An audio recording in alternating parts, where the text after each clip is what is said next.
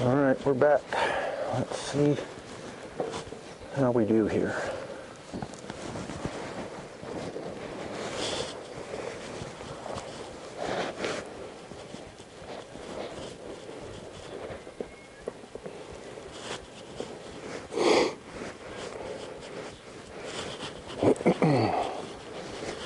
thing that concerns me most about her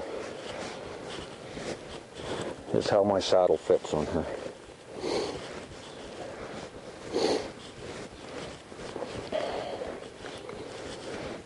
It's kind of roly-poly, so if she gets to really squirreling around on me, we'll have to do quite a lot to keep her mind in the middle. Keep my saddle in the middle. To keep balancing.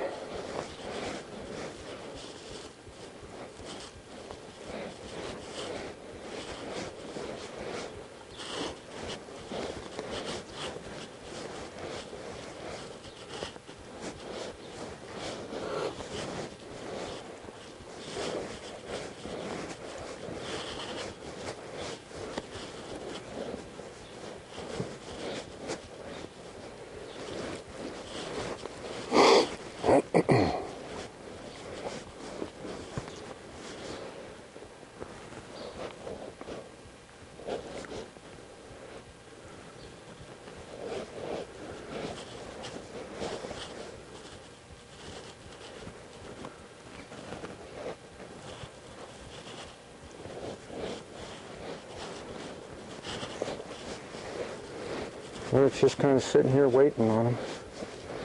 See if she gets enough gumption to take a step or two.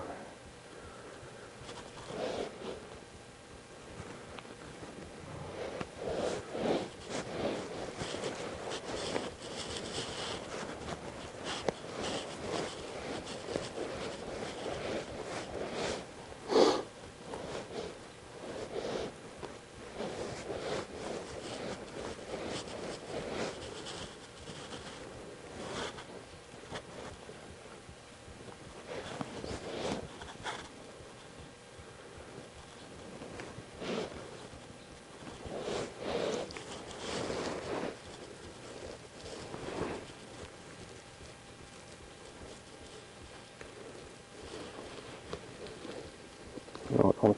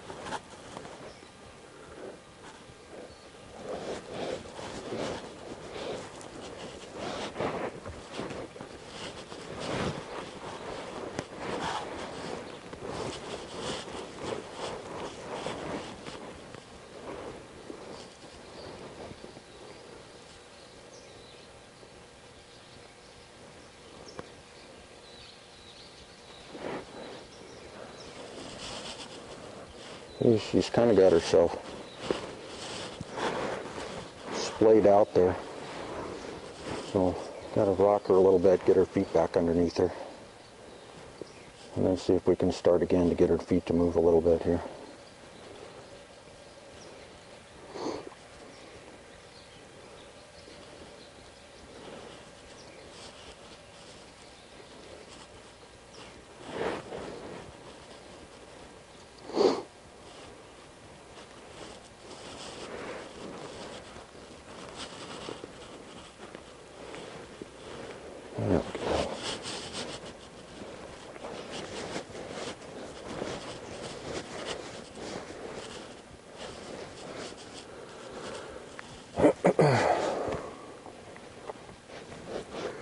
Lot of trainers that do colt starting clinics, you know, they'll have a bunch of colts in a pen and, and a rider on a saddle horse, and they'll get everybody mounted and then start pushing them around to get them moving. I don't have that luxury of having somebody to help move her, so I just kind of work with her and we take it one little step at a time until she starts figuring out how to get her feet going and I just keep moving and messing around with things until we can get her straightened up and get a little bit of a step here and there.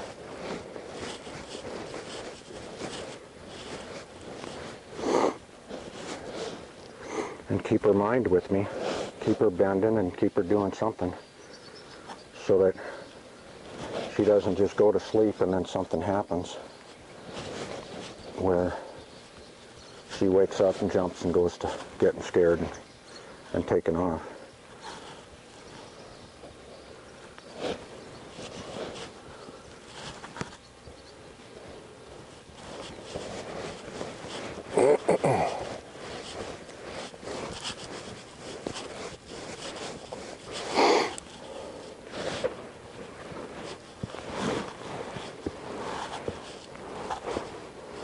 By my way of looking at it, you know, if she's nice and calm and willing and listening to me and bending and flexing while I'm sitting up here right off the bat and learning how to take these cues, the basic cues that we've been teaching on the ground, that's just as important to me to give her a chance to take these basic cues now before she starts getting a little bit too quick and reverts back to wanting to reverts back to wanting to you know pull on you or take off. So we're still working and we're still making progress. And eventually she'll get tired of standing and take a couple steps forward.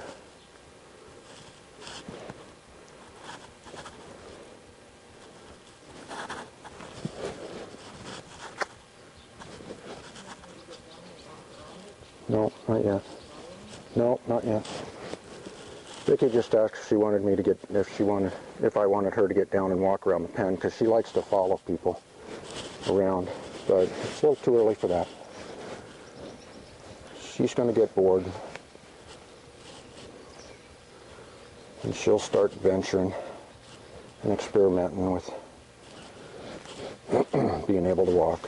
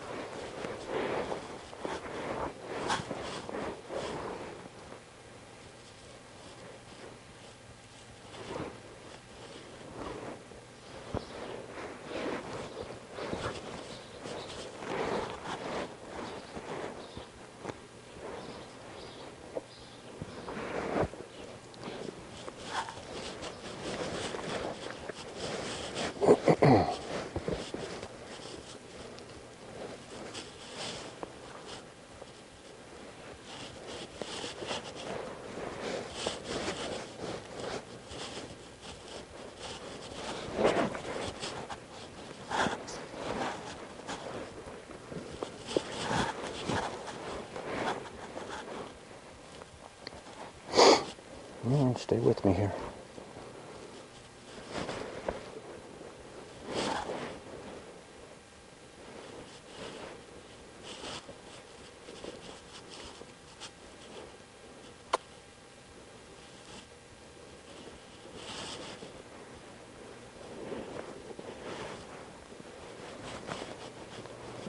These first few steps is where it's kind of critical because if they have something happen and they take a jump and that cinch might be a little bit loose if it's and the flank cinch might be a little bit loose loose because she's react she's relaxed.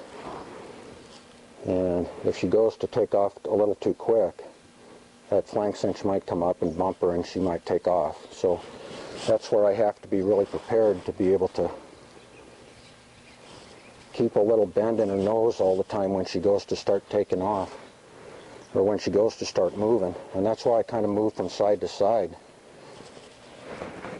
with them to, sh to shift my weight, shift her weight, and bend her nose a little bit off of the straight line so that if she does jump, I'm able to hopefully get her nose and be able to help her out and settle her down a little bit.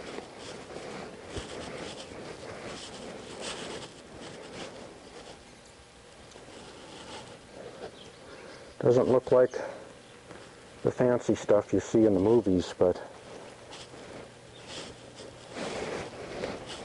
it works for me.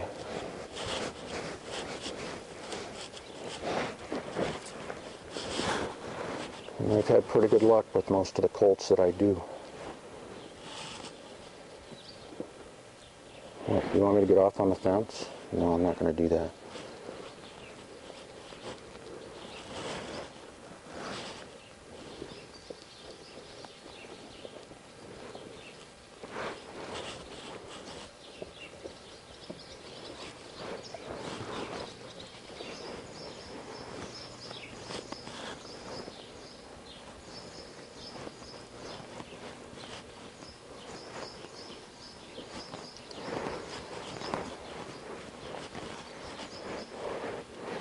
Your Hollywood moment, huh? Saying hi to the camera.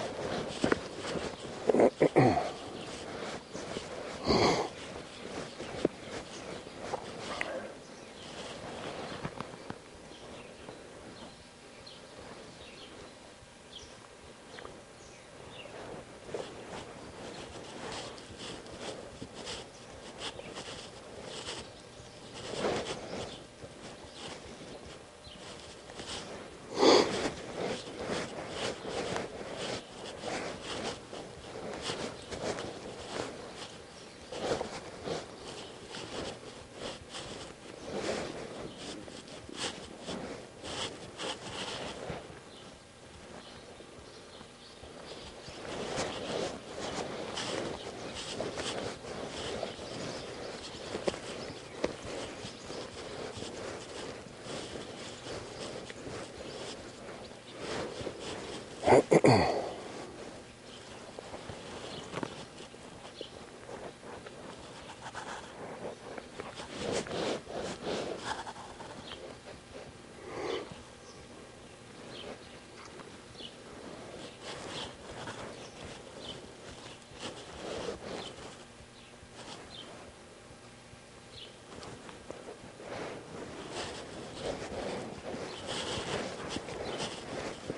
How long?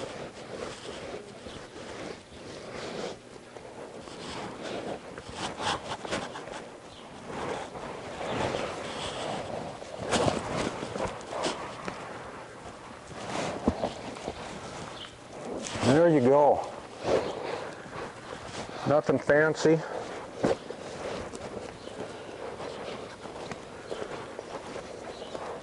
Nothing movie quality.